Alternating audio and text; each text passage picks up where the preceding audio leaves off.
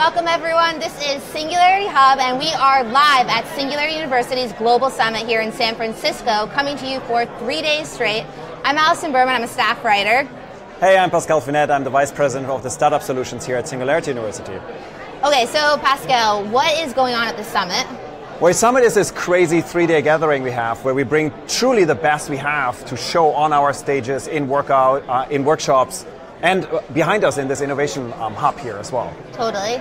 Yeah, and I think one of the most exciting things about this summit, particularly, is that you know it's San Francisco, so it's not the heart of Silicon Valley. We're a little removed, but we bring together all these fascinating, uncommon partners. We have startup entrepreneurs here. We have really senior executives, CEOs, government people. It's it's cool. And then just an incredible amount of people on our stages, right? Not just the people you typically see at Singularity mm-hmm. University. Mm-hmm. What I'm super excited about is we've all these people you typically don't see at Singularity University who kind of fit into our ecosystem. Yeah, and it kind of it brings people in, and then the exciting part to me is that afterwards, like startups might be founded, new business ideas. I think that's the really the magic. I already had this. So we started off the day with um, our alumni gathering. So we've got hundreds, literally hundreds of our alumni coming from all over the world coming together. And uh, I was on stage for like you know 10 minutes. We did this quick Q and A thing, and afterwards, like I already had like five alumni coming to me. It's like, oh, we want to do this business with you, and it's like it's crazy. The energy is so like positive, and it's just buzzing. Yeah, we have a lot of energy. So everyone watching, we hope you do too. So, of all the different technologies that are being shown here, is there one that you're excited about? I know for me personally, I'm there's so much hype in the area about artificial intelligence, but we have a lot of companies here with real applications of artificial intelligence systems. So, I'm really curious to hear more of the nitty gritty. Absolutely. I think what's really fascinating is, um, and I know you're doing a segment where you walk around and show the audience some of our companies yeah. here.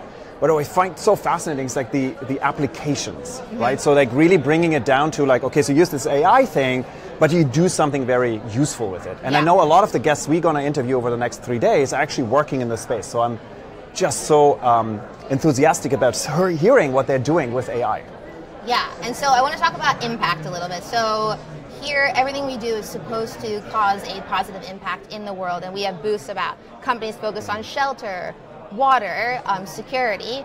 How you work in our startup lab, what is a challenge that some startups have as they're like trying to get into these areas and focus in on solving a challenge? Like is picking the challenge difficult initially or?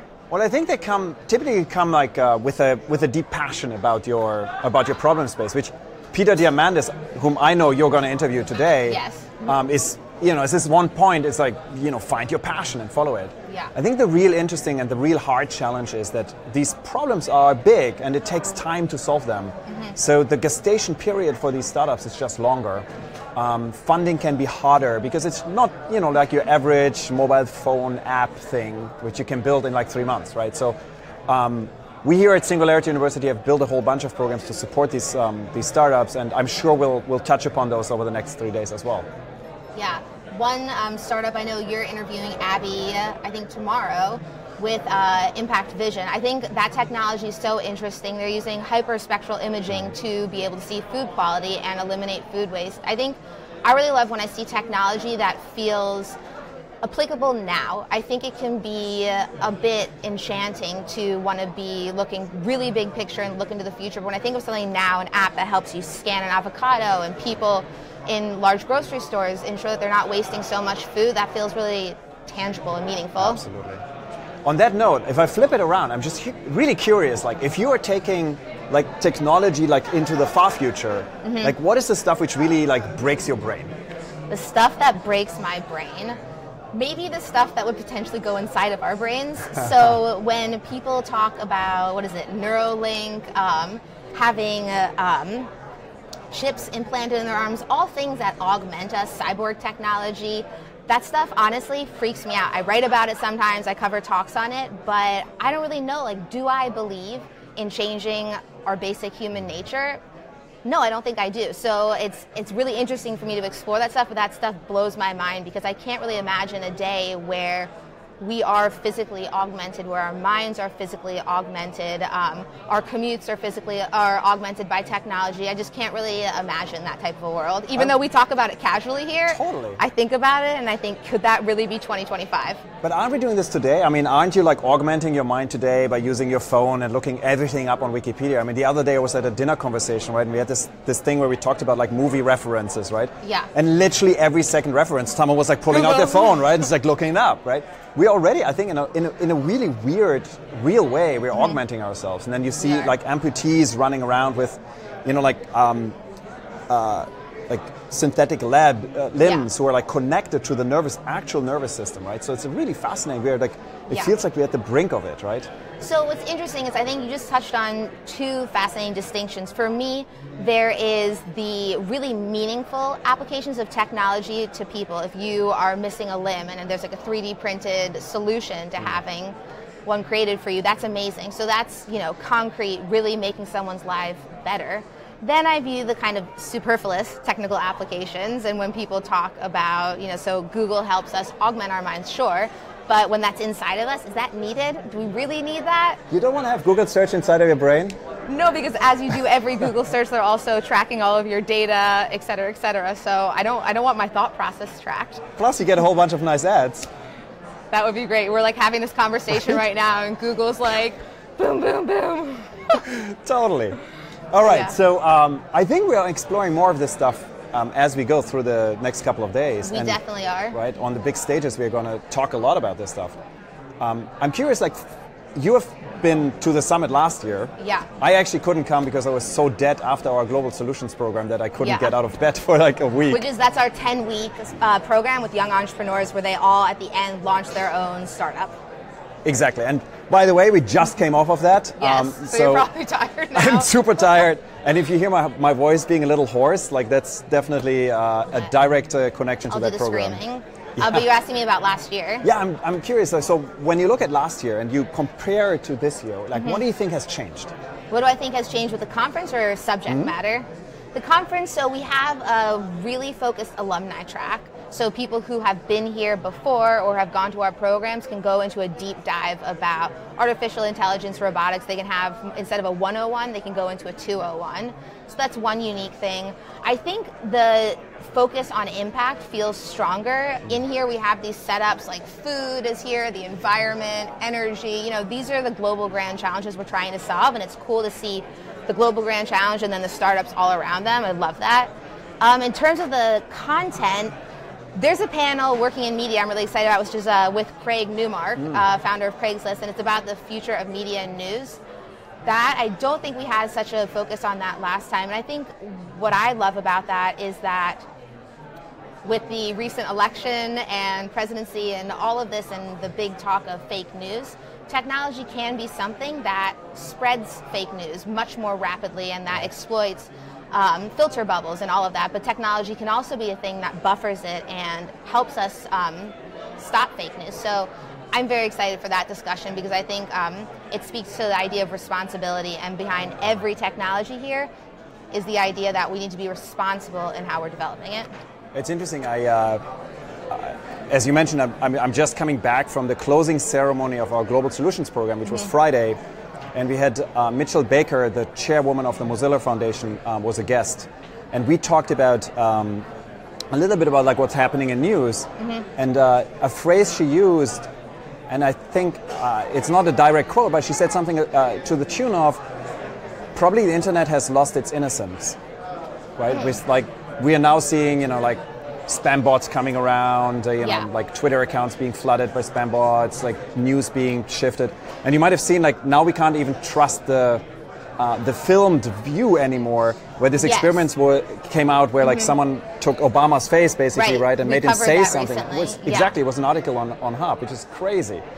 So yeah, really, really interesting discussion. And I know you're going to interview uh, interview uh, Craig, right? I am tomorrow at I believe 5 p.m. And so I think yeah, this I think the theme of responsibility is going to be everywhere for the mm. next three days. I don't think that we as a company can do our job without talking about responsibility and ethics. So I'm psyched for that across all technology disciplines. Couldn't agree more.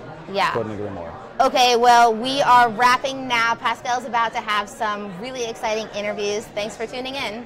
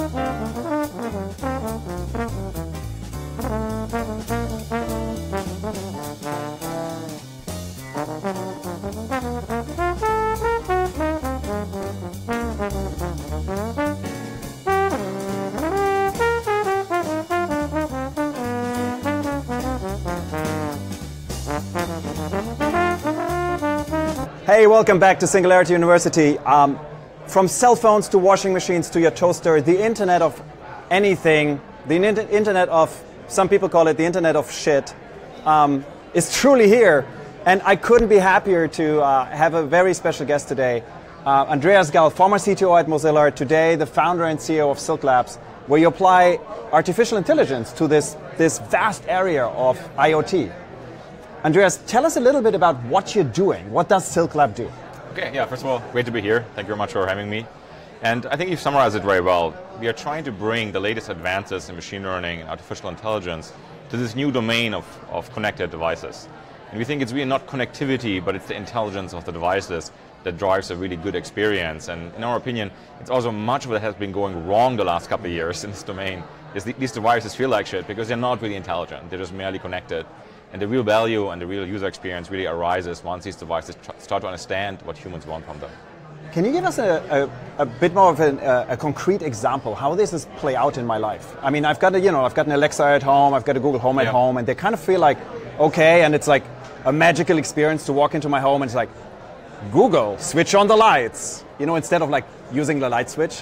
Yeah. so um, before we talk about the really complicated use cases, let's just maybe just talk about the really basic ones if you're not satisfying today, right? So I, I can tell you how I got started with this mm. company. Uh, this was really on the technical side. I started like, getting into more in the AI field, and this is something I studied uh, 15 years ago. Which this entire field was in a very different phase of evolution. Many things that are today very simple were not possible. So there was a big technology shift happening, and I started to think about how this could affect products. And uh, if you look at the connected devices space, two years ago, but this pretty much applies today as well, much of the experiences are really underwhelming. Mm. Concretely, the product that got me going with this company was Dropcam. Hmm. I really bought into Dropcam's sales pitch is that always know what happens in your house when you're not home. Yeah. That is fantastic. That is a problem that I have. Totally. Wondering what's happening in my house when I'm at work. But um, when you actually like live that experience they're offering you then and also today, it's extremely underwhelming. Hmm. Because you buy this camera and every time I come home, I get a notification that I have come home or there was motion in my house. Every time my dog is jumping or a curtain is moving, I get a notification. That is completely useless and you switch it off and all of a sudden the premise they promised you is not really being fulfilled anymore. So I was very curious, what is the cause for that and how can we use AI to improve that? Now, if you go a step further, what is really the experience I would like to have? Of course, well, if there's a stranger in my house, I would like to know that. If I come home, don't tell me. I already know that. It's me coming Right. home. So this ability to basically take the next step of intelligence and for machines to understand context, understand who is at home, what are, why are they at home, what are they doing. I think that's where many of these really interesting experiences start getting unlocked. So for example, the light example, I'm not sure I want to come home at night when it's dark in my house and tell my house to turn on the light. This is pretty obvious what I need in that moment. So I really want my environment to figure this out on its own. So that requires, to a lot, large extent, that, that all these devices start talking to each other, which I think is one of the big inhibitors today, right? I've got like all these de- connected devices, and mostly they don't talk to each other or talk to each other in very basic ways. And I know, you know, we share history with Mozilla, where we built the web, uh, which is all about interconnectedness. Where do you see this going? Because there doesn't seem to be like a, a common language for these devices at the moment, right? I think it's a really good point, and I think there's a lot in the history of the web that we can use to learn here.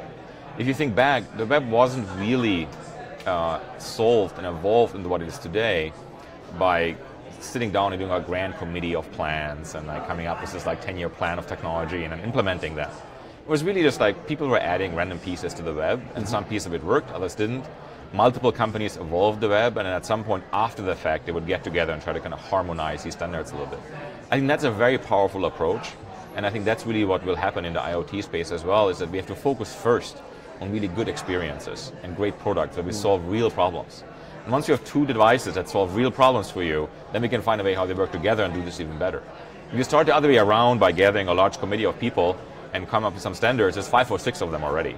And nobody's really using them because it's very hard to take the first step. Gotcha. So, what is your, uh, in your case, like, what is the linchpin?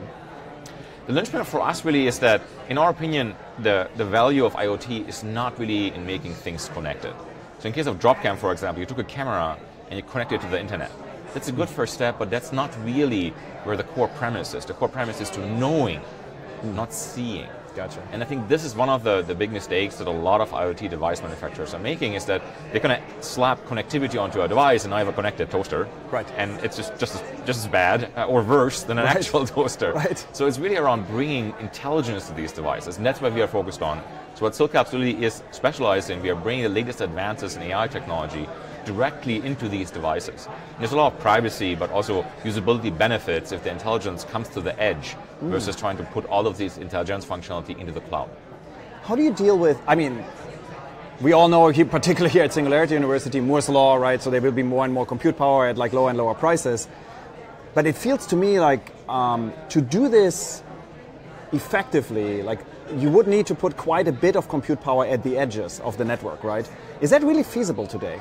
So that's a great question, and here is where we are finding us, ourselves today in a very unusual situation of, of technology evolution where hardware has lapped software. Traditionally, in computing and, and, and compute-based devices, there's always like really uh, advanced software that suffers from hardware not being fast enough. If you remember, like smartphone evolution, for example, in the beginning, a lot of limitations on, on, on, smartphones were really based on not enough compute or not enough battery life and the mm-hmm. hardware to catch up mm-hmm. with the capabilities of the software. And in the IoT space, we find ourselves in an opposite situation where we have gone through 10 years of evolution of the smartphone supply chain. And the same components that are in a smartphone are going to these connected devices, which means that they're incredibly powerful. These smartphones that we are carrying in our pockets today, they're basically little supercomputers. Yeah. They, have, they have the amount of compute a supercomputer had 20, 25 years ago. So we have massive compute, and it's very, very cheap. You can go to India and you can buy an entry-level smartphone for 25 US, 25 US dollars. Mm. So the components inside of it are very available, they're very cheap, they're very powerful, and we have no software to take mm. advantage of it in IoT space. That's really exactly what we are focused on, helping companies to take advantage of the existing hardware and add the missing software, especially around intelligence and AI, to make that into really interesting device experiences. Interesting. Let me geek out for one second. Okay. Because I, I mean, we had we have like shared history on like building like interesting stuff together. Um, do you think this requires also probably what new programming languages, programming paradigms, or is the existing stack we have today uh, usable? Uh, one of the particular reasons which I always find so curious is a lot of people who work in IoT, I find they're writing their stuff in C, which is like I get it, it's like low level machine level stuff, right? And you get the performance, but it feels pretty archaic. I think there, there's two large trends here that are worth talking about separately. The, the, first is really around what you brought up around programming languages, just like software engineering in general in this mm-hmm. domain. And I think it's a very valid point. It's something that we are trying to address as well. So in addition to our intelligence stack, we also offer a software stack, a general kind of software updates, software evolution, um, basically a software framework that tries to advance the state of the art in the way we make software for devices. Traditionally, this was firmware engineering, mm-hmm. where a bunch of people sit down in the basement and write a firmware, and then it's a golden master, and you burn it in there, and then you never touch it again. And in these very live device experiences, it's not really possible to create the kind of high quality, constantly evolving experience with this kind of old school 30 year old firmware thinking. You have to go about the device software much more like a smartphone application where you constantly measure what the device sees, constantly improve it. There's definitely a big shift happening on the technology side where we're moving away from C++ and like firmware and like linking firmware images and so on. We're going to modern software environments. We're using a lot of JavaScript-based software environment uh, and, and engineering tools and methods and making devices with our stack feels a lot more like developing a web service than a traditional device. But there's actually underneath an even larger trend. This was one of my personal motivations to kind of switch gears and go from being a chief technology officer of a company that makes like algorithms and technology and, and standards for the web to a company that really mostly deals with data. And that's the, the fundamental observation that AI will really, at, at, a very fundamental level, change the way we build products. Mm. In the past, my profession, I'm a software engineer by trade, uh, my job was really to come up with clever algorithms to solve concrete computational problems. Right. And machine learning completely disrupts this because all of a sudden you take a general neural network engine, and there's a few of them, there's TensorFlow and there's others, but there's a very small number of them. Uh, and there's, there's not a lot of differentiation you can get from a different engine. And all you need is domain specific data, and lots of it, and data scientists. Mm. And you can solve a wide range of diverse problems. Mm. Although all of a sudden, my job, software engineer, is a lot less important. It's all about data so and, and, and, data sciences. So it's fascinating. So do you think on a macro trend, do you think that we are seeing a shift away from like people going into software engineering and more into the data science? So Absolutely. is the job of the future the data scientist versus the software engineer? Absolutely. I think huh. I firmly believe long-term software engineering is really going to be de-emphasized as, as kind of the, the crown jewel of making especially software-based products. The last 20 years, software engineers were basically fairly high up in a decision-making process because we have so much influence how software experiences turn out. This will change. It will be much about data scientists and how to understand data and how to form these neural networks. There's really a big shift happening. Hmm. Now it's important. This is a long-term trend, right? Like I think it's comparable to like self-driving cars. Yeah. Like yes, I would not. If today you can still get a driver license, it will still be useful to you for, for many years. But in a long-term trend, at some point, hmm. you probably want to think about a different long-term career than a driver. So I think it's a little bit similar with software engineer. I'm not discouraging people to go to school right now to learn how to program, right. but over a 10, 20 year time frame, we will see a lot more emphasis being put on data sciences and understanding how to use data to train neural networks to solve problems yeah. instead of use software engineering manual skills to design algorithms to solve similar problems. Do you think that also will lead to a, a world where we probably have more people being makers again? I think the web did a great job at like, you know, it's fairly simple for someone to put up a website. And then the web became pretty complex, right? Like you had suddenly like the explosion of JavaScript stacks and like, you know, back end, front end, and you know, middleware, yeah. etc. And it became really complex. And the, the, the, tool chain to build a modern web application is pretty complex today, right? And it requires actual knowledge, real deep knowledge. Do you think we're getting in the space you're in, like, to a world where people become more tinkerers again? I think there's there's a couple aspects of uh, the evolution we're seeing right now that will help that, and then a couple that will hurt that. Mm. And the ones that it's worth talking about the ones that are hurting this as well, because this might be where, where certain organizations or even governments could step in and, and help that to a degree. On the one hand, there's a big democratization happening right now because the technology itself in this space is often pretty openly available. So this, this goes to the neural network engines such as TensorFlow, but even the, the model architectures, like how to detect a face, for example, these kind of things that Google and a Facebook and a Baidu tend to open source the model framework itself. Mm-hmm. So this in general makes it a pretty even playing field. Anyone can go and take these technologies. There's also very few patents in this space actually because it's mostly academically driven. So that's great. That means in, in fundamentally tinkerers can take this stuff and do things with it. On the flip side, much of the complexity of training these models is how much data you have available. And there's a few companies that have a huge head start in this kind of data. Like Google has, for example, tons of data about internet and like knowledge graph. Amazon have a ton of data on voice because they have been starting voice-based products uh, earlier than others. So uh, Facebook has a lot of facial data, so they can train great facial recognition models. And this is something where the general population is very much at a disadvantage for these big companies. And Silk Labs, around amongst others, is trying to equalize some of this disadvantage. We work with many hardware manufacturers. We work with them together to collect the necessary data that we can create these models for them that are being used across an entire industry. So we're trying to make sure that models like these are not monopolized to a few uh, companies here in, here in Silicon Valley. Fascinating. Let me, in our last two minutes, let me uh, shift the conversation a tiny bit. I'm curious, like you've been in technology forever, you got a really deep background in technology. Um, what are you most excited about about the future outside of your field? Mm-hmm. I think one of the things that, that I find very exciting right now about just the way uh, technology itself is evolving is that the, the, most powerful applications of technology have now left the direct technology sector. We're seeing especially software technology, but to a large degree also hardware technology, really transcend software engineering in Silicon Valley. And the, the coolest companies that solve the coolest problems are no longer narrowly speaking like technology companies, right? This goes from everything from a Lyft and an Uber yeah. that transports you somewhere. Yes, there's technology involved, but at the end of the day, first of all, it's, it's a magical experience. It's the closest we have gotten so far to the Star Trek transporter.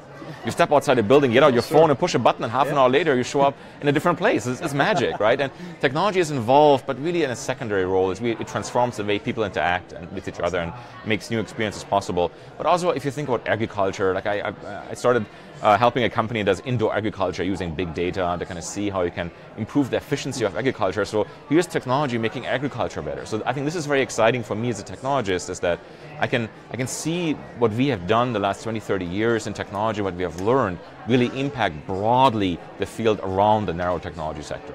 That's fantastic. I think on that note, um, and with such a positive outlook onto the future, uh, I want to call it a wrap. Andreas, thank you so much for being here. I'm here at Singularity Hub at the Singularity Global Summit. It was so much fun geeking out with you for a little bit and being reconnected. And um, I, I expect great things from Silk Labs in the future. Thank you very much. Thank you.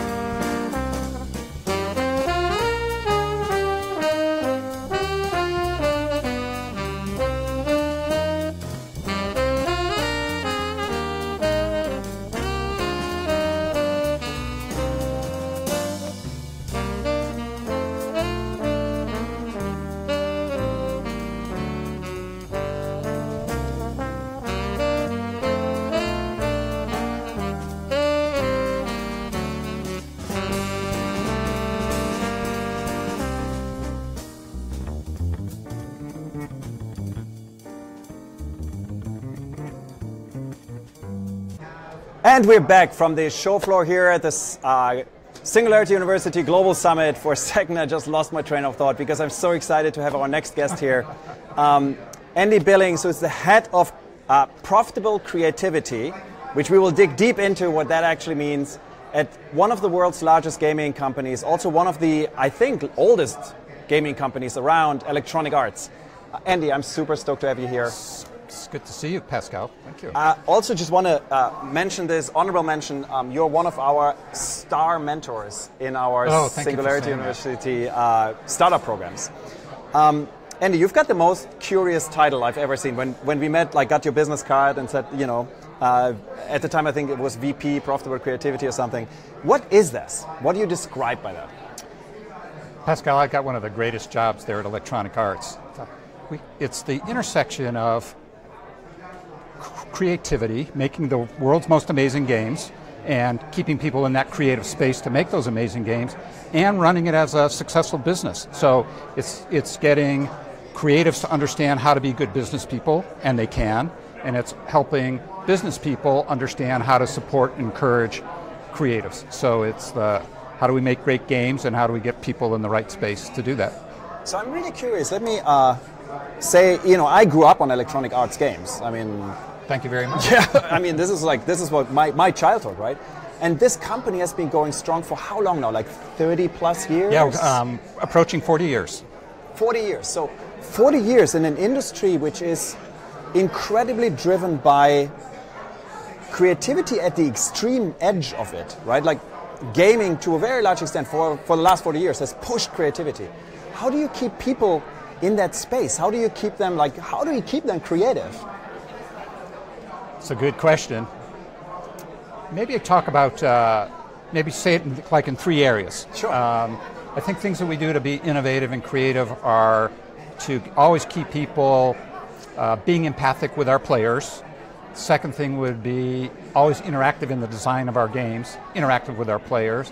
And then thirdly, just to be deeply curious all the time about what we're doing and what's happening with our players. And you know, if it's okay with you, maybe I'll just explain one game. Please, and- and absolutely, go from there. to, so uh, we're making Star Wars games. We're very excited about that.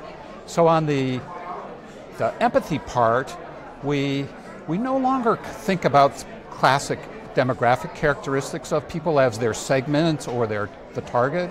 We think about what motivates them, what's fun to them, and we now kind of developed a whole taxonomy of different reasons that people play games. Like you might want to compete, I might want to design something, someone else might want to um, tell a story, and so we have have much more insight into what makes people interested in playing games, and then we spend a lot of time with those players. So, to be empathic now, we bring the players into the company, and we ask them all about Star Wars and what's interested, and we understand what motivates them to play. And then we also go to their own living room or their study, and we find out, you know, how are they playing those games. So, um, we've now got a group of people that are helping us. Uh, right now, about 500 people are helping us get a game out in Stockholm, and they're they're giving us ideas and, and improving. So that's that's kind of the empathy part. Do you think you can? So, one step back. We just had Andreas Gal here, um, who's an incredible coder, and um, uh, Andreas and I have shared history working together. And At a lot Mozilla. Of, at Mozilla, right? And a lot of coders are not particular. Not a lot. Let me rephrase this. Some coders are not particularly empathetic, right? They're they're like very nerdy, like sitting in front of their computers, and they're they're masters of it. Can you get these people to be empathetic? Yeah, good question. So, people that come to work for Electronic Arts as coders are there, are there to unite the world. So they're they're there on a mission, and when we bring players in, young, old, different kinds of things, they get to see who they are creating games for, and they hear those people get so excited and so passionate about those games that they're just wired for weeks after those visits. Just amazing. Well, our problem is actually to calm them down and, and not go so wide rather than to, to rev them up. Interesting. Um, I think there's a. It feels to me there's a correlation to design thinking, which is this like, you know, it was a buzzword 15-ish years ago. I remember going to the D school, Stanford D school, uh, where they taught this. Um, it now feels to be like a very strong business paradigm, which a lot of like organizations um, uh, use to their advantage. Right. Uh, where do you see the overlap, and where is it different? Well, we're still really deep into that design thinking. So for us, it's being interactive in the design process. We have all this empathy and all these insights with the with players. We used to call them customers, Pascal. Sorry to say that. Now we call them players. Interesting. Completely different um, think about them. Yeah. We we try and be interactive with them throughout the design process. So we have a group of people on the Star Wars game. We call them game changers. they're deep Star Wars fans and they're deep gamers.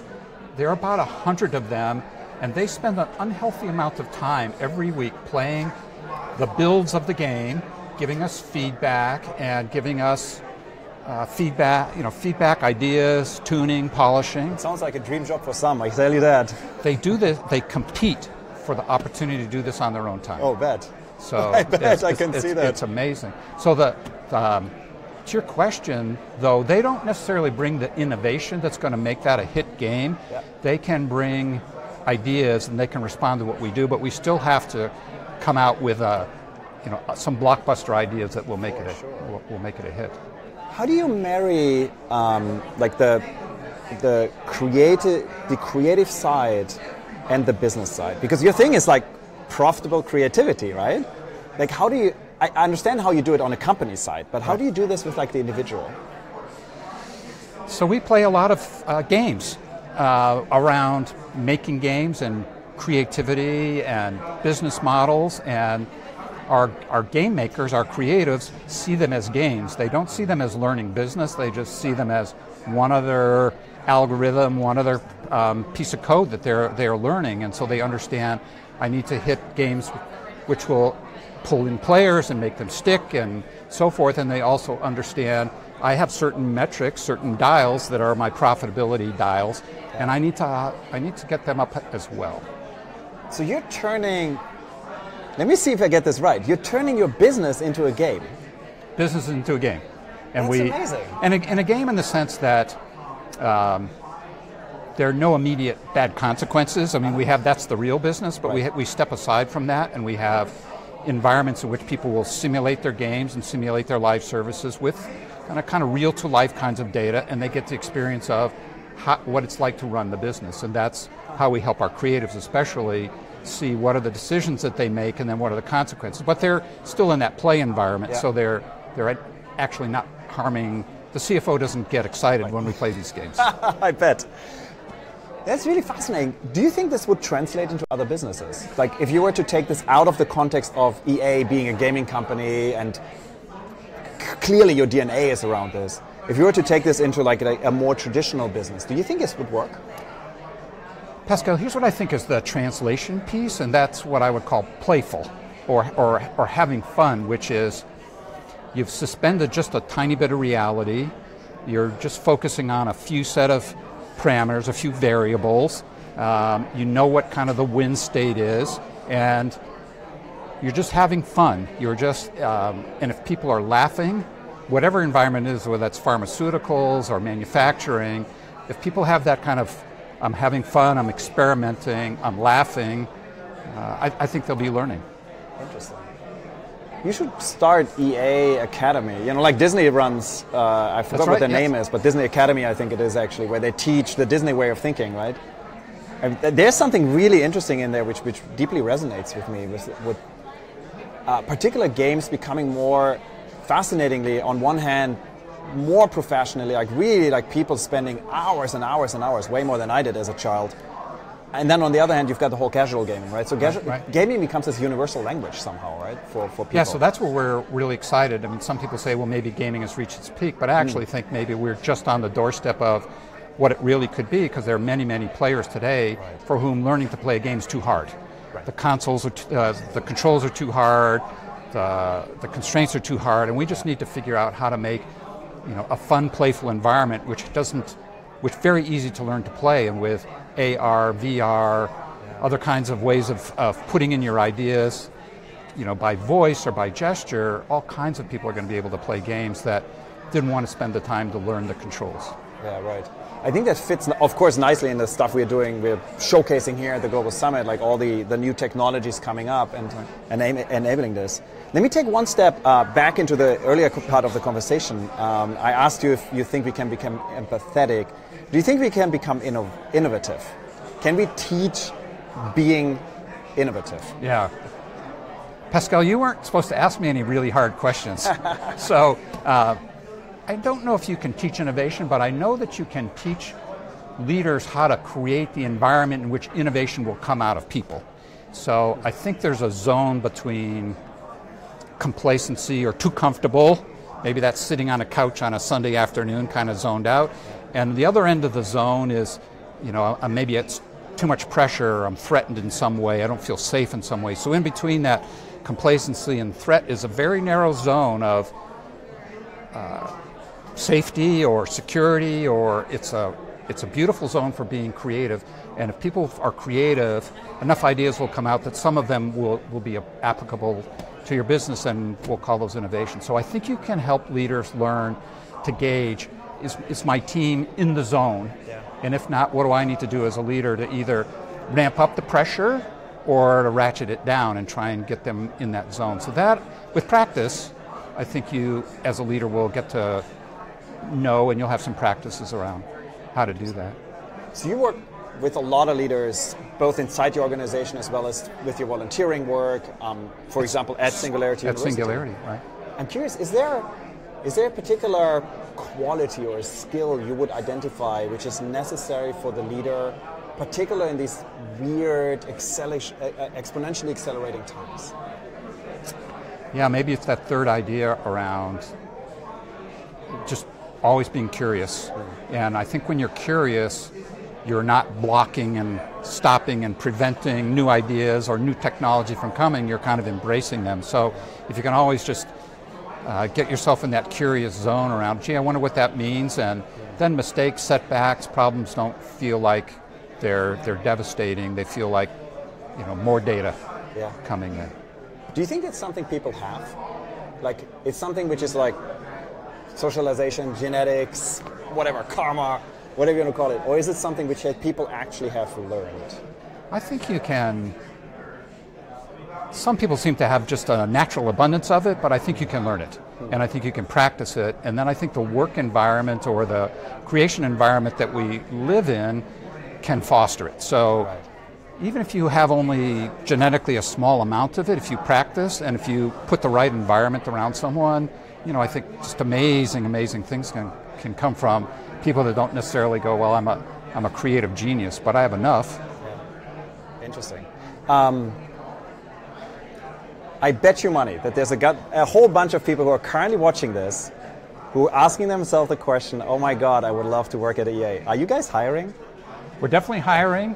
Uh, so uh, you can always uh, go look at our job site, ea.com, and um, but only people that want to have fun probably should apply. I think we find those people. Um, I want to bring us back to, uh, and probably as our last point here, um, you already talked a little bit about like what you think the future holds in terms of gaming, in terms of like different inputs which allow people to be, uh, to interact with the game in different new ways. Um, what are your predictions for the, the future of gaming? Yeah. Future of gaming. I think you ask a lot of people today, are you a gamer? And they say no. Right. But when I but when I watch them, they have games on their mobile phones. They're interacting with people uh, digitally in ways that I would call gaming. So I think we're going to redefine what gaming means, which is interacting, connecting, and having fun uh, in, a, in a digital space. And instead of a few billion people gaming, we'll have, who knows, maybe the whole world will be gaming. Interesting. Fascinating. I want to ask you. Uh, sorry, this is like a question out of left field. Okay. They're just super I'm curious. Um, what's your favorite game? Oh, my favorite game. Uh, that's easy. Um, uh, started playing when I just started working with the company, and you. Uh, I just love creating things, and I love creating cities and having people have fun and uh, connect inside the city. So, yep, that's my favorite game.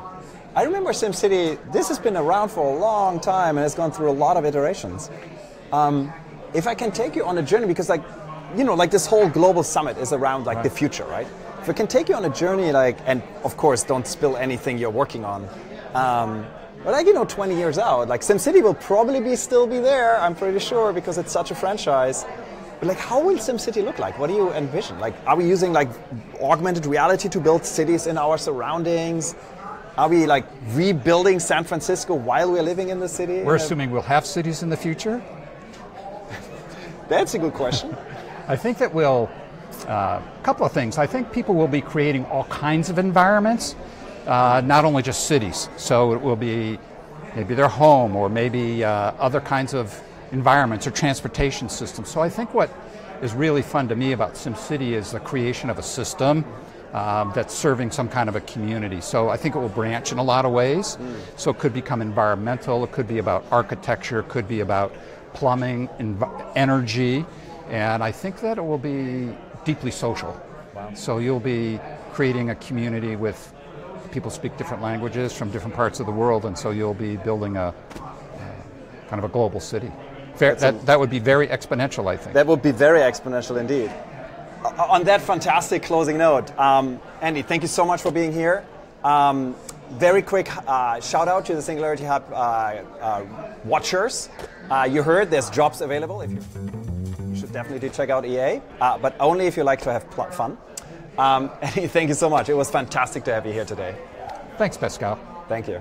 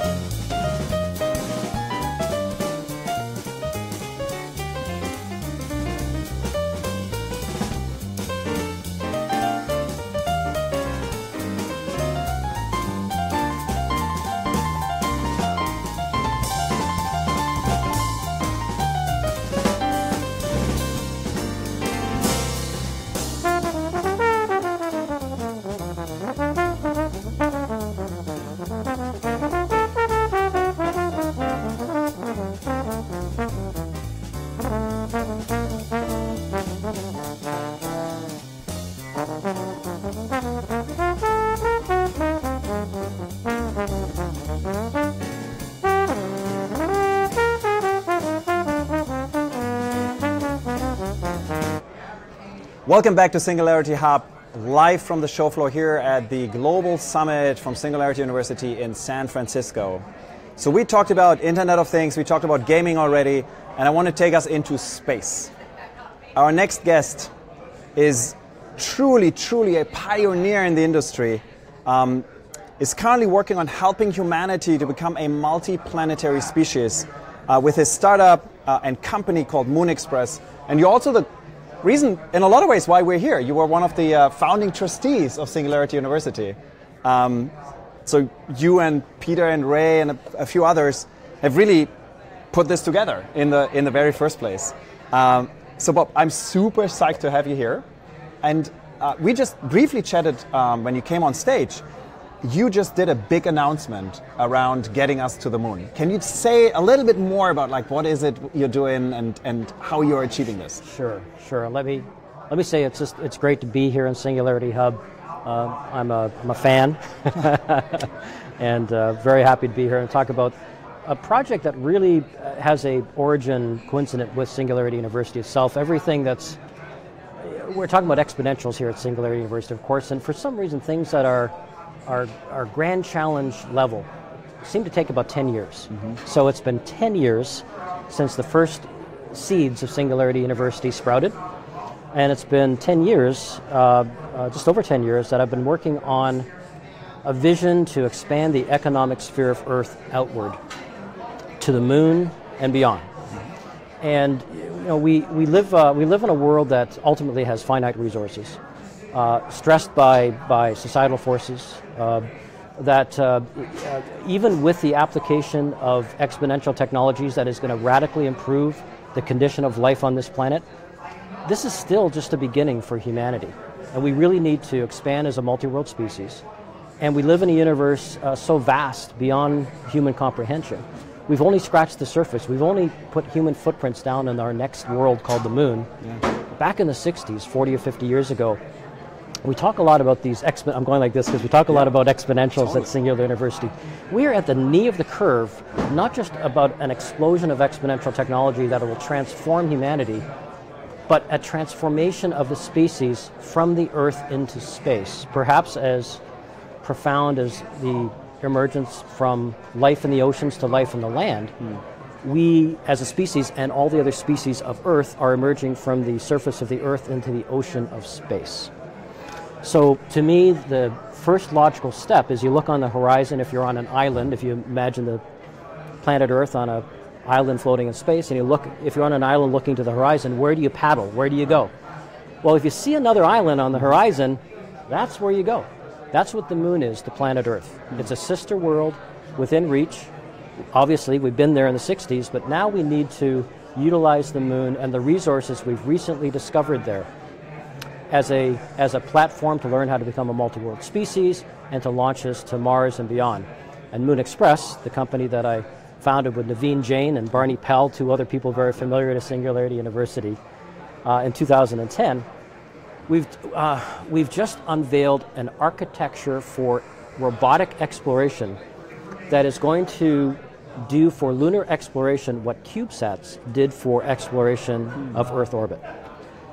So not all our uh, viewers might be super familiar with like the concept of CubeSats. Um, can you can you elaborate a little bit more? Sure, like and, sure, because I went like that, right? Yeah, that yeah, I know. Like right. like small, because yeah, totally. there there are satellites can be as you know half the size of this room, right? And and, and so, it, very very similar to what what happened in the computation world from main the mainframe era of computers, mm-hmm. things that were government centric and filled a room were transformed into personal PCs that completely democratize access to computation. That's what's happening in space. We're moving from the era of a long dominated world of government space, and we're democratizing access to space through a collapse of technology in many ways. Computation is transforming hardware into software, mm-hmm. and it's expanding accessibility. So the costs are coming down, the, uh, the, the, the iterations are going up, and, and, and the long tail of the market, meaning the rest of us, have access to space. And a small group of individuals, Moon Express, I think, is a great example 50, 100 people can do what only superpowers used to be able to hmm. do reach for another world, land on another planet. That's what's happening in space. And that's when I go like that for CubeSats, yeah. that's the physical representation of, the, of what exponential technology does to collapse large hardware systems into small systems that, from a cost perspective, are much less expensive to launch into space than large systems. Wow.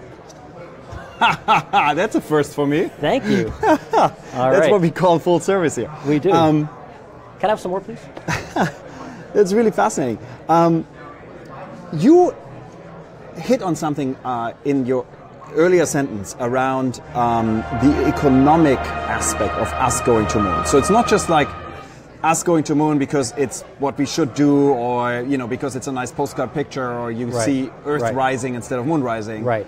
But there's an right. economic point in there, right? And there has to be because yeah. we went to the moon. We, as a human species, led right. by the United States, this superpower race between the Soviet Union and the United States, was about superpower politics. It was a, it was about, about political and psychological dominance. Mm-hmm. It was about proving that we were better than the other guy and and we and and we planted flags with human species and and walked around, but much faster than it took to get there.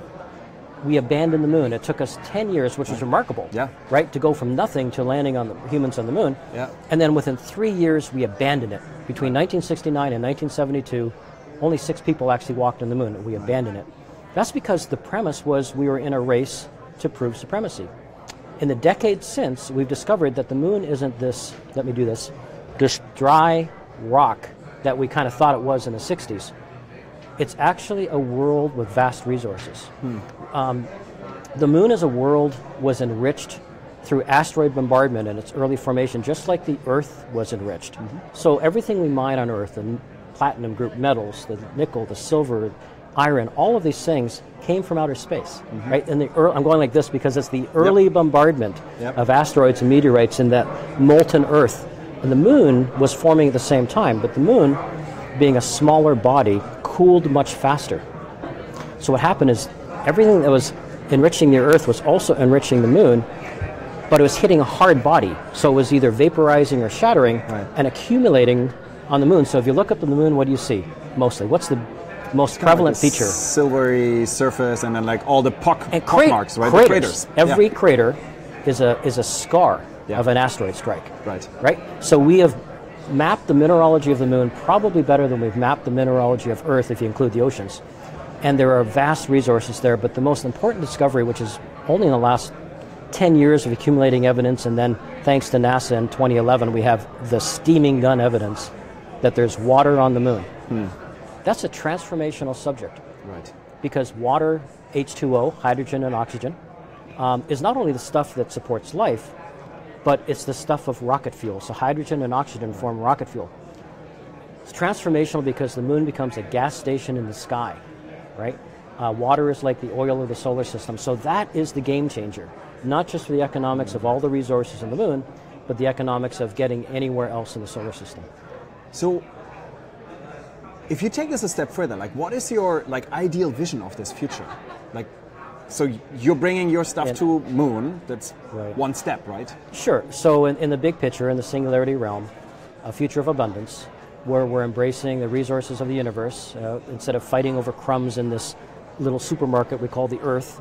The universe, the solar system, is has practically infinite resources and energy. So we need to embrace the resources of space in order to be able to expand as a species. So that's the big picture. And for Moon Express, um, our long-term vision is to unlock the resources of the moon for the benefit of humanity. So, so find out where those resources are, find out how to extract them and how to process them, store them, and use them. In the short term, we're a transportation company. We are on the final stretch of, we hope, becoming the first private company to reach the moon within the next year. Something that only superpowers have done before. Yeah. With small robotic explorers that will open up and democratize access to the moon so we can learn more about it. And these will be stepping stones for a larger exploration and uh, resource searching on the moon.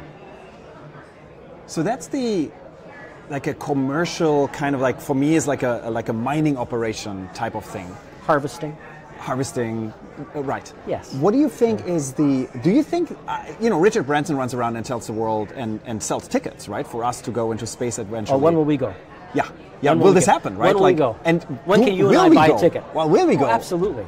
So I used to, when I was a little boy, I used to think, boy, it would be cool to go into space, but I think I have to be a NASA astronaut and I have to work for the government, and it, it never happened. Now I can just go to Richard Branson and Sure. put down, write a check that will hopefully clear, and go to check, uh, go to space. So I'm, a, I'm, I feel the same way about the moon. I believe that I, I could actually buy a ticket to go to the moon someday in my lifetime, and, and the kids that are born today, uh, it's just it's just a certainty in my mind for them. I think the generation of kids that are being born right now will look up in the next 10 years, look up at the moon and see lights on the moon. Imagine seeing lights on the moon and, and, and how that will be a fundamental change to our human psychology yeah to know that we're members of a spacefaring species. absolutely Right. So the first jobs will be a little tough. It'll probably be on the world's dirtiest jobs, but it'll be on the moon. but uh, it will be a great place to go once you get a little, a few of the amenities that we Yeah. like. Um, we'll redefine honeymoon. Uh, that's where you'll be able to go. Right? brilliant Um, that's what a moon is all about. Uh, Roma, and there'll be a lot of fun things to do in the moon, but it'll be practical because it'll be economic to be there as, as well as fun. it throws up interesting questions around like who owns it like who owns moon That's a, that's a, that's a great point. right And it's actually become, um, you know, you look at the risks of a startup enterprise, and uh, uh, most startups have this, uh, you know, very common risks like money and resources and the right people. Those are very common, whether you're doing a space or, a, or an app um, on an iPhone. So it turns out that in the 1960s, uh, during a, the Cold War era, if you can imagine, we were, we were locked in this struggle of potential nuclear annihilation in the Cold War and amassing tens of thousands of nuclear weapons pointed at each other is not the best time. And, and, and, and technology to send things into space was just arising, so the, so the United States and the Soviet Union, as the primary parties in discussion, joined with other countries, got together and said, how are we going to behave in space? How do we, how do we prevent, let's say, a nuclear arms race in space? Let's not take our war in. How do we do this? So a document was developed and signed in 1967 called the Outer Space Treaty that has since been signed by over 100 nations that to this day governs the behavior of human society in space, led by nation states. And it has uh, precepts that are quite grand. Um, uh, space is the province of all mankind. Uh, we shall put no weapons of mass destruction in space. We're not going to put military bases on the moon.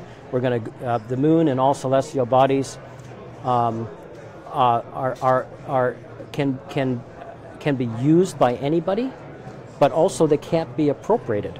So mm. it's got this, this, this tension between belief systems yep.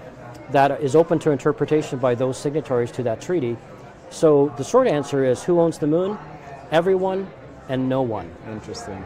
Right? So, as the first private sector company to go there, um, we found ourselves in a situation in late 2015 where, um, you know, is there, uh, do you need a license to go to the moon? Can you right. just go to the moon? Right. And uh, so, in, in, order to get a commercial launch license to send a satellite into, into Earth orbit, there's a very standard routine process. It's managed by the Federal Aviation Administration. Every rocket that gets, commercial rocket that gets licensed to launch goes through this process. But all of that regulatory framework ends a few hundred miles above the Earth's surface. No private company has ever gone beyond Earth orbit. It's only been government spacecraft right. that have gone to other worlds. So when we uh, went to the State Department, which is the federal body that interprets treaties and yep. uh, is responsible for the U.S. obligations under the Outer Space Treaty, and we said, hey, uh, we'd like to send some robots to the moon. Um, are you guys okay with that? I mean, is uh, there any reason why that's a problem? And they, they said, uh, after some thought, they said, uh, well, we really support in principle what you want to do. We think it's great, but there's no way we could say yes to that. The reason is there's no department. It's not that sure. the United States thinks it owns the moon. Yeah, it's yeah, because sure. in order to be compliant with its international right. obligations, it needs to have authorization and supervision. It has to know there was no Department of the Moon, there was no regulatory framework. Yeah. Make a long story short, it took us almost a year to actually there was not even a process for the process. So we had to invent something out of thin air. We called it mission approval. And we went to the 10 or 12 federal agencies, all involved in this process of approving things that go into space, and, and, and developed this consensus that uh, has become a historic point in history. In, 20, in 2016, on July 20th, the US government approved for the first time ever, actually in the world, a commercial entity to go beyond Earth orbit and to the moon, and that was Moon Express, setting some level of precedent that at least it's possible. But that conversation about how it's going to happen continuously is still moving. Wow. Yeah, we're not there yet, but we're getting there. It is a seriously exponential journey. Yes, yes. on that note, on this ex- truly exponential journey, um, I want to wrap it up Bob, thank you so much for joining us today. It's been great. I learned so much about the moon. I'm so excited to buy my ticket uh, to go to the moon, not just into orbit, but, but go to, to the, the moon. moon. All right. Uh, and I want to see your uh, harvesting operations uh, in full swing. I'll bring you back a piece of the moon. Fantastic. All thank right. you so great much. Great to see you. Thank you.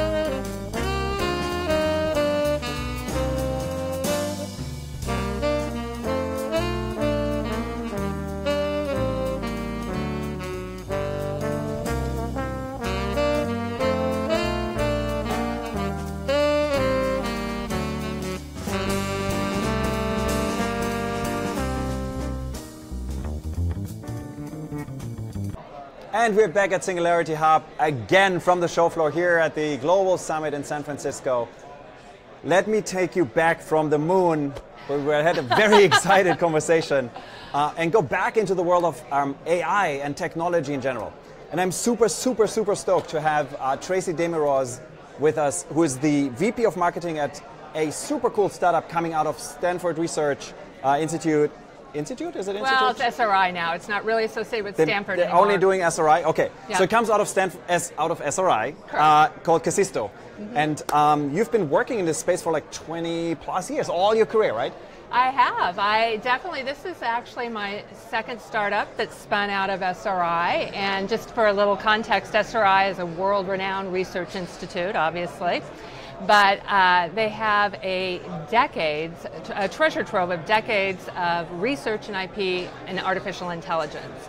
So this is my uh, second startup that spun out of SRI, and Kasisto was founded in 2013. And not only did we get that great treasure trove of AI, but the thing that we left uh, when we spun, or SRI when we spun out, was an enormous amount of uh, financial industry expertise that we trained this platform on. So we've created Kai Banking. It's a conversational AI platform, and has very, very deep domain expertise, and we license it to financial institutions. So retail banks, wealth management firms, credit card companies license our technology. And what they do is they build smart banking bots and virtual assistants for their customers to interact with. So, to give you an example, um, we've licensed to companies or uh, financial institutions like Wells Fargo, MasterCard, and DBS uh, is a huge bank in Asia, and I think you might be interested in what they launched with our technology. We um, went to market with DBS in India, and uh, DBS created the very first mobile only bank in India. So there's no branches, no signatures, uh, and it's a mobile bank. And so you can imagine um, our conversational AI platform is called Kai. And the Kai powered assistant in that mobile app is really the face of the bank. It's doing all of the heavy lifting and a lot of responsibility. And with the platform, DBS was able to extend it from a mobile app to Facebook Messenger and on the website. So their customers, every interaction is an AI driven conversation. And language as natural as texting, you and I texting one another. And now the um, technology's been in market in India, Indonesia, and Singapore for over a year and a half. And some of the um, real important KPIs coming out of there is that assistant is able to handle 82% of every customer's conversation, inquiry. And of course, no bot do we want to be 100%, right? There's instances where I want to talk to a human for one Sure. thing, but there's a seamless handoff to a live agent for the, the balance of the conversations. And I think just in terms of what AI is empowering companies to do is um, DBS was able to create this mobile-only digibank with one-fifth the resources of a traditional bank startup. That's huge. Let me let me ask you a little bit. So, if I understand Kai correctly, Mm-hmm. your primary use case is uh, text-based direct interaction with a customer, correct? So that goes into this world of chatbots, which is chatbots really exploded over the Right. last, you know, whatever, 18 months or so. Right. There was like the chatbot, build your chatbot kit, and A lot of frameworks, a lot of everywhere, right? noise. Yeah. So, and I always found it interesting, like the question of like, do we see a world where like chatbots will become really meaningful? Like, and you know, will they become our primary interface between us and our Yeah. service providers, our apps, Well, etc.? I have to say, the, your question's a good one because we do not see ourselves as a chatbot company. Gotcha. We really see chatbots as like one channel. And I think, you know, when Facebook launched, uh, launched Facebook Messenger and opened it up, there was a lot of hype around these chatbots and there was a lot of disappointment. And I think really the difference for us is um, a chatbot on a Facebook messaging platform is just one channel. We've created a platform that's like this AI brain that you are, with a lot of machine learning, supervised and unsupervised, feeding this AI brain, and then um, putting conversation as the user interface in a mobile app, on a website, or in Facebook Messenger. And so for us, chatbot is one channel, and I think to your point too about this hype, there, anytime there's a category creation, there's a lot of um, high expectations, a lot of confusion, and a lot of kind of mystery of how consumers are going to interact with this and how they're going to adopt it. And one of the things that we really feel so strongly about for AI to have a really intelligent conversation, it has to have deep domain expertise. So for us, we've trained this conversational AI platform to know about transactions, to analyze your spending, and really what we're seeing banks shift from, from using this is not helping me move my money, like, oh Tracy, your mortgage is due, take this out of checking and go pay your mortgage, but really around uh, financial well-being, increasing um, with data-driven insights and actionable, actionable recommendations tell me, um, you know, this money is sitting in your checking account, move it over to savings, or um, I see that you had an overdraft. Can I give you overdraft protection? But better than that, can I tell you in a week you've got this bill due and you don't appear to have the balance to pay it? Fascinating. So you just something you said would trigger something in me. So you said like you you launched in India and you said it's in Indonesia and another country, right? And those are very uncommon languages we right. typically see in, in the AI space, right? Most of the AIs, the conversational AIs, right. at least I experience, are typically trained in English and like probably Spanish, mm-hmm. some European languages.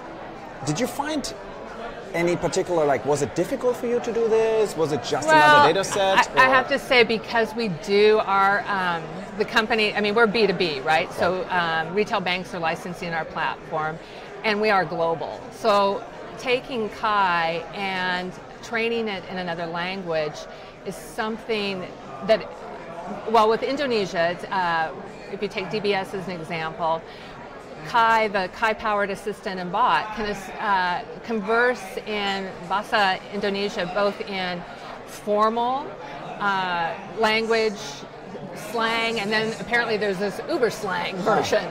And so if you think about a bank too, just in terms of there's language segmentation, but there's also um, creating a persona might be different if I'm speaking to a retired person versus a millennial. And part of what we did in our platform, and we spent a lot of, um, really, for lack of a better word, ethical time thinking about it, is what kind of persona is in our platform. So it really is an art and a science, and so we have um, AI UX experts, and and their particular um, expertise and passion is in the written word, you know, literature, and is their background. Coupled with our AI engineers, we created a persona that's genderless, and it really is. It's got a um, an engaging personality, but it's not going to um, deep end on its favorite color. It's not going to let you flirt with it. It's going to stick you, you know, re kind of direct you back to let's do some banking. Yeah. And you know, of course, every bank that licenses us can, you know, personalize that persona into their own brand and voice. But with AI, I think it's really important. Um, this genderless um, component is important to us, as well as always making sure someone knows when they're talking to a human versus a machine. That brings up an interesting point. I was recently at um, Mozilla, where you, we both we worked. yeah. yeah. And um, they have a project around um, this idea that because the training sets for AIs are typically very uh, biased, mm-hmm. right? Like facial recognition AI is trained on white, yep. Caucasian people, right? So an AI has problems detecting a person of color, for example, right? Mm-hmm.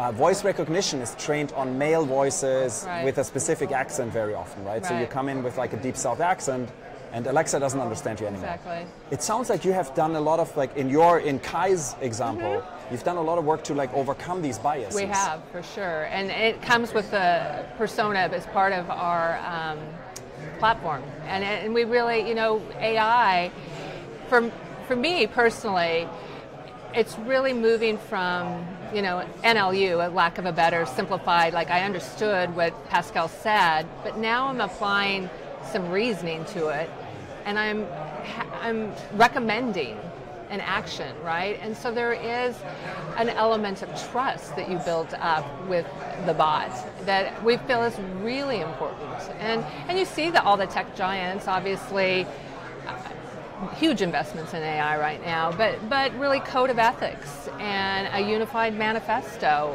Um, I want to change tack a little bit. Okay. Um, you've been in this space forever, right? yeah. Um, and you've seen like I was always so impressed because you always worked at companies which were at the forefront of you know what's happening in a particular industry. Um, outside of Kai, obviously, and like Right. AI, I guess. What are you super excited about at the moment in terms of technology? I have to say, I, I'm super excited, and, and it is self serving to say AI, but I am super excited for more experiences that are conduct, contextual, predictive, and personalized in everything I touch. And part of it, I have to say, um, is I think a pendulum swinging of our attention span. We are just consumed by our screens, right, and our smartphones. And I really am excited for a more balance of um, not necessarily notifications per se, but getting information when I need it and when I want it. Um, and just, I, I- I'm super excited about how AI can create these contextual uh, experiences. So, do you think AI will pull us out of the, the our seemingly over reliance or over absorption of of content and devices? Do you think it pulls us out and allows us to be more I, I like, have to in the say, real world again? I hope so, and I have to say, I'm part of uh, singularity too of the premise of um, AI and technology elevating us to higher thinking. And I, I mean, I'm an optimist. Otherwise, I wouldn't be in so many startups Clearly. and be, you know, and a mentor at Singularity. I really am an optimist for that. And it is, and I'm speaking personally when I'm saying I personally would like less um, consumption. So, what do you think is, is in terms of um, in technology, a particular technology or a particular technology trend is going to be super disruptive to our lives? Yes. I mean, AI for sure, clearly. Yes. But what else is like, you know, on your horizon? What do you scan at the moment? Where's your next startup? well, I have to say, the company that blows my mind right now is Amazon. I am just blown away by Amazon. The bookseller? yeah, exactly. Just in terms of, uh, I have to say, the execution is flawless too. I mean, I definitely keep an eye. Why is that particularly? I mean, I'm also a really big fan of Amazon, and somewhat they creep me out because they're like everywhere. Right. And when you talk, we talk a lot to uh, Fortune 500 CEOs and you know like people who run businesses. And there's they enter good, and they disrupt I and know they there's create a good chunk of people who are really scared of them for sure. And the, eco- the ecosystem that they create is phenomenal. It really, you know, just everything they touch. Prime, AWS, just Right.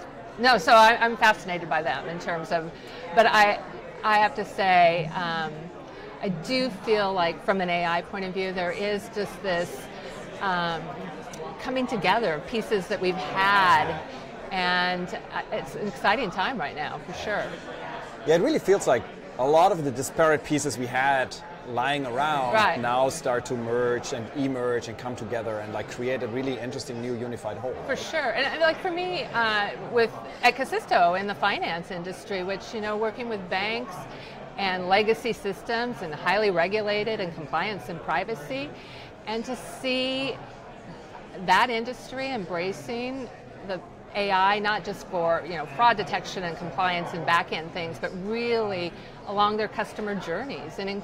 And I really do believe they are shifting from helping people move their money to manage their money. So let me end with one last question. I'm curious, Okay. um, and I want to stay in AI. Like Yeah. in the in the realm of AI, where are we like in terms of like is this day one is are we like week one you know like Well, I, I have to say, I just being in the industry so long, I do I worked at one startup where we had this vision of these agents, and the use case we always talked about is putting an agent. It wasn't called the cloud then, but putting an agent up there that would. The uh, story was a wedding anniversary, and go up there and you know this sounds so stereotypical and dated, but make a restaurant reservation and buy flowers and what have you, and these agents Still would don't do. have it.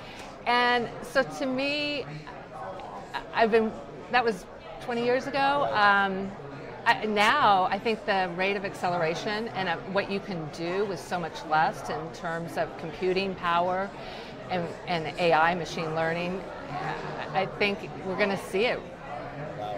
All right so uh, i'm done with the wedding thing i'm, I'm already happily married um, but I'm sure, like that fabulous agent, person, I I know, that agent can do me uh, a huge favor and organize But my, that's my 20 wedding years ago, anniversary, really, right? that we were talking about these I things. know, right? Um, on that note, uh, it was my distinct pleasure to have you here, Tracy. Oh, thanks, um, it was super fun geeking out with you on AI. Uh, we'll be back soon with more content. Stay tuned. Thank you so much. Thanks.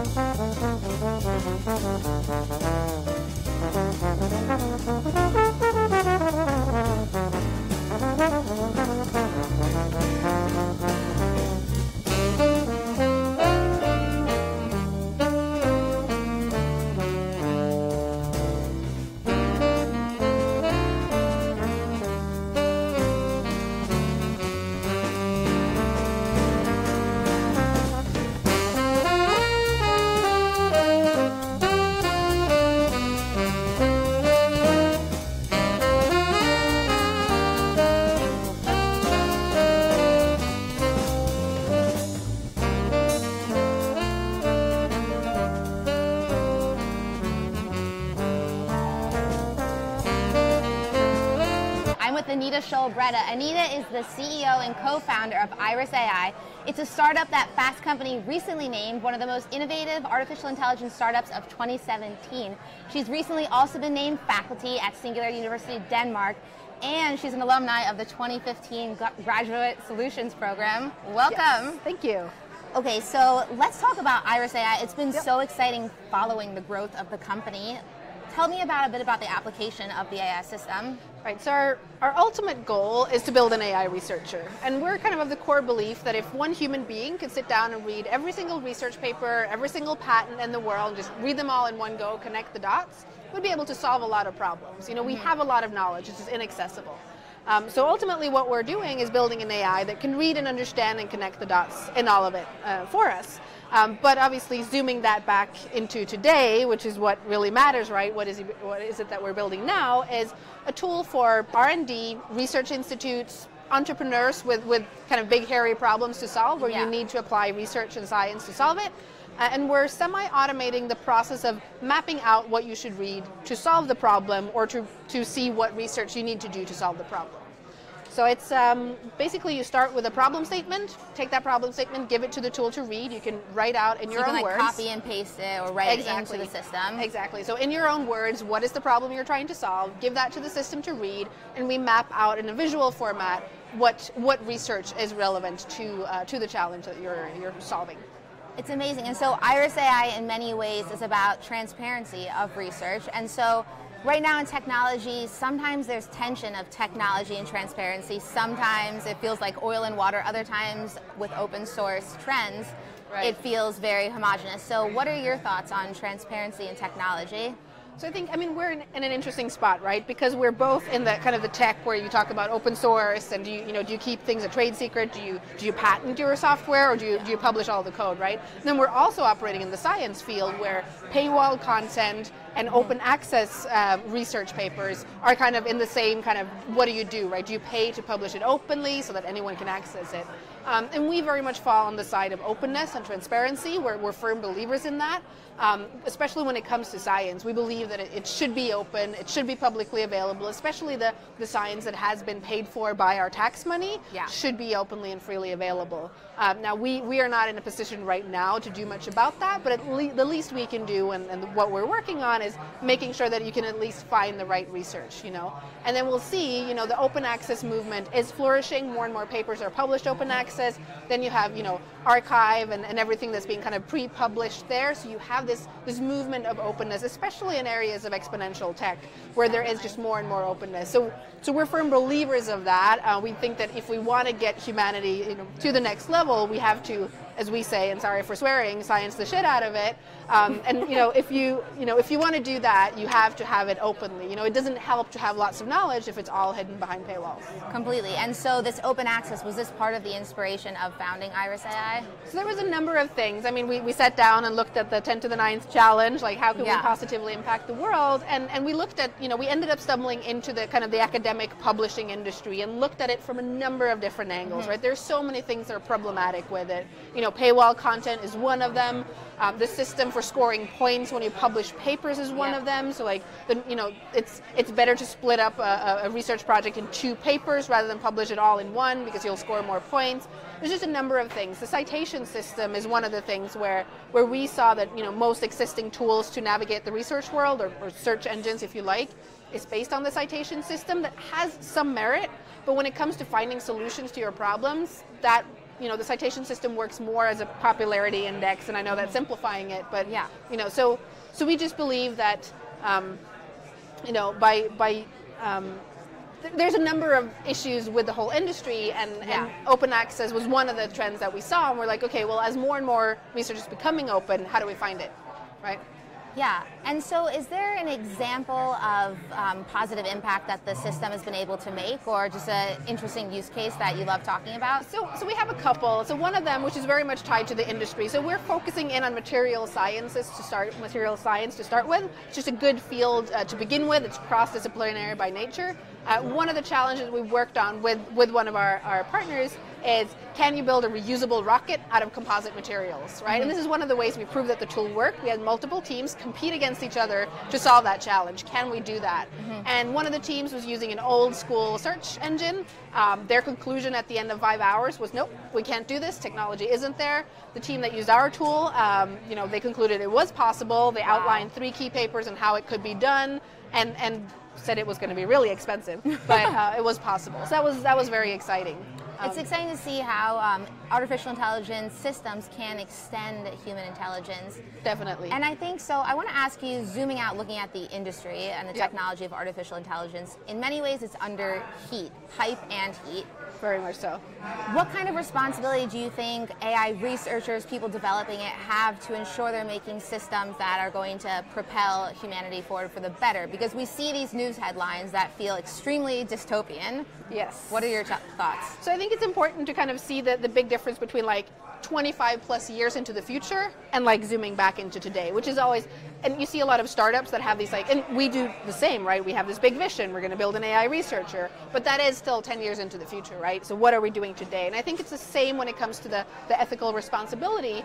You know, sure, we can have the discussions on like utopia, dystopia, you know, uh, are we building Skynet, which is the simplified version of it. And I think that is too much of a, you know, hype headline that is mm-hmm. really easy to latch onto. I think the more pressing issues is already today, like what data sets are you using to build your algorithms, right? And you have a ton of examples on like beauty page pageants online, right, which uses all pictures of white women, white Right. skinny women to judge beauty, right? And then so if anyone who doesn't look like that uploads, um, you know, uploads their picture to see if they're beautiful, they're not, right? Because the data set you picked isn't the right one. You have a police department in Florida that you know did racial profiling in their Yeah. in their algorithm to you know to assess. So I think that's you know today that is where you know a lot of the a lot of the responsibility lies. Like what data are we using? Mm-hmm. How are we making sure that we don't build in our own biases Right. into the system? And I'm far more concerned about that. As more and more automated systems comes into our everyday lives, mm-hmm. how do we make sure that we don't, you know, keep, dis- I mean, because we are living in a society that is incre- incredibly discriminating against a number of different minorities. Mm-hmm. How can we make sure that we don't build that into our systems? Because then suddenly also we remove ourselves. Mm-hmm. It was, well, it wasn't me, it was a computer Well, I system, didn't right? do I didn't yeah. do it. But, but we do because we build it into our systems. Right? It's amazing hearing that in your methodology because you know we saw the huge article that came out. Artificial intelligence has a white guy problem about how it's being Exactly. built. So this is it's critical to be addressing it now. Yep. So with Iris AI, right now it works in tandem with someone Yeah. inputting a question. Do you one day see Iris AI totally autonomous as just a machine not working in collaboration with a human? So, so more and more so. Um, but I think, I mean, so, so today it's very much in collaboration. It's an iterative process going from a problem statement, zooming out to find a bunch of research. Next steps that we're launching this fall is focusing back in to figure out it's. The, the geeky term is a semi-automation of the systematic landscape mapping, but uh, anyway, it's focusing in, and there's that's very much an iterative process, right? And Iris makes some assumptions, asks the users about the assumptions, and we build it together. Um, if you look further into the future, there's going to be more and more autonomy, right? Iris can extract a hypothesis from a paper, see all of the hypotheses in connection in a similarity graph, build new hypotheses on the top of existing, and then actually go test them in a, in a simulation environment or robotic lab.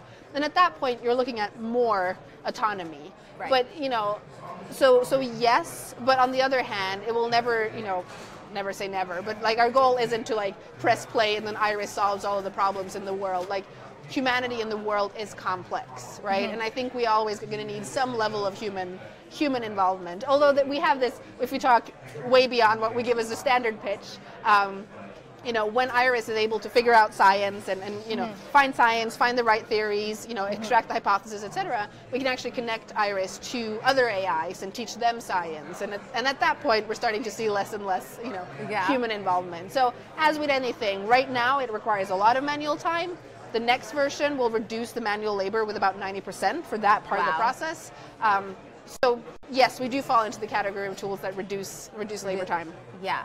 When you talk about Iris um, AI being able to one day speak with other AI systems, I get the her image where Samantha starts communicating with all the other systems. Right. I don't. I don't think Iris will ever be like friendly and pleasant. It's, it's it's a researcher. You know, we, you know, get the job done. What questions are hot on your mind about AI research or AI in general? Um, right now, it's about the hype. Yeah. Right? It's like, are we doing ourselves, a dis- and, and it's a personal question too, right? So we started the company two years ago, and we present ourselves as an AI company, right? Iris.ai, like it's in our domain and our name. So the question is, are we doing ourselves and the world a disservice by like positioning everything as AI, right? It's like AI for dog walking, right? AI for this, AI Yeah. for that, and we're like, are we, are we hyping it too much Mm-hmm. so that we end up overhyping it? Because people are very excited about AI these days, and I get Right. that, and there's plenty of things we can do that are super exciting. But then there's also the fact that like we're not quite there yet, right? Right. There's still a lot of development. We can do the little things really well, but Mm-hmm. like the, the big vision, the crazy future is still years away, right? Yeah. So I think that's one of my concerns that we're we're overhyping it, and I've you know started more and more, you know, stop talking about us as an AI company only, but Mm-hmm. like we're a company that solves important problems for R and D. Yeah, and you guys just won here the Global Grand Challenge for Yes. Learning. Congratulations. Thank you. That's very exciting. And I can see how you are a learning organization as well, and so that would be one way also to position the platform. Yeah, exactly. And we do fall into we do fall into the learning ed tech space, obviously with people who are, you know, um, not necessarily highly educated. One of the effects actually that we're seeing from our platform is that it, it does, to a certain degree, de-skill um, the, the users or the requirements on the user. Like you don't need to be a professor to you know map out the Yeah. science. Uh, as in some instances, if you do this manually, you have to have kind of at least uh, an associate professor degree or level to be able to do the full rigorous manual process. While with our tool, we de-skill it, but still. We're not, you know, we're not a, a kindergarten tool. Uh, you, do, you do need to know a little bit about science or research or the field you're working in. But it's exciting. Imagine a teacher putting it to work with their class on their research. I remember when we were in school going through encyclopedia pages and Yeah. how much it slowed things down. Yeah. So you are a female founder. There's also a bunch of hype, misconceptions, stories about this experience. What have been any misconceptions that you have encountered as a female founder?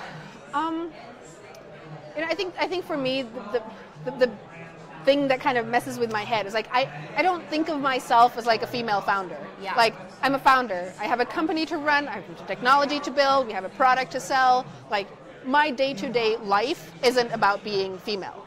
My Yeah. day-to-day life is about running a startup company and, and succeeding. And, and and so that's why it's always like whenever I'm like, oh, like you know, I, I won an award for like you know, um, inspiring 50 women in tech, and I'm like, oh right, I'm a woman in tech. Like right, I forgot about that. Right, I think it's we don't go around thinking about the fact that like our bodies or our, our gene- genetics are the way like it, it just is right? I, I just happen to be female. And and so for me that's the biggest misconception. Like I, this is not something that's on my mind. While having of course been in situations where like i've gotten the like older male engineer like patting me on the head and laughing You're at like, me "Thank as i'm like no, you know. Yes th- i've been there but that's not that's not my day-to-day business. Yeah, and it's not stopping your game either. You are No, and of course, and, and it, it is sad to see like what's going on in Silicon Valley, and, it, and like the, the, the, the limited amount of female partners I meet, and the Mm-hmm. VCs I pitch to, and of course there is the question in the back of my head, like, am I being you know judged unfairly? Because again, when we talked about the biases in our Yeah. algorithms, it's the same thing, and we're not we're not aware of our biases, right? So there is this little voice every now and then that goes like, is this affecting our fundraising? Mm-hmm. Sh- you know, should I put one of my male co-founders? Like, probably not, because like I am, I am the CEO of this company. That's who they want to see. Yeah. Still, like, there's always the question, like, is this impacting our fundraising? On the other hand, again, I have a company to run. Yeah. And so, what is fueling you often with pushing all your work forward personally and with Iris AI? Good question. I just, I just really like what I do. Like, I have a lot of energy. I have a lot of passion. I just really want to make something that matters. You Yeah. know, I want to. I love seeing like examples of our technology put to good use. We have another. I mentioned earlier. We had a couple of different case studies that I really like. One, another one is this tiny little chocolate factory, West Coast, U.S., uh, who's like he, wanted to build a sustainable product line, right? New product line, sustainable, um, healthier chocolate. He's like, but I, I don't have an R&D department, you know. And he stumbled across our tool and used that to build a new product line. And he was like basically R&D enabling himself, not being highly skilled, not being a researcher, but not having tons of resources. Exactly, but using our free tool that is available on our website to do an R&D process, you know, and, and basically R&D enabling himself. And things like that really gets me going when I'm like, we're doing something that actually matters to people, that people are excited about. Um, so that's, that's kind of what keeps me, keeps me going. And then, I don't know, I've never had a real job, you know, and I, I don't know what that is. I don't know what it looks like. I'm just really enjoying the freedom and flexibility and hard work and like Yeah. seeing things grow from literally nothing and then seeing what we built. Yeah, well, I've been following you guys for the past two years, and you are doing something that matters. So thank you so much, Anita. Thank you so Super, much. Super, really big pleasure. That's it.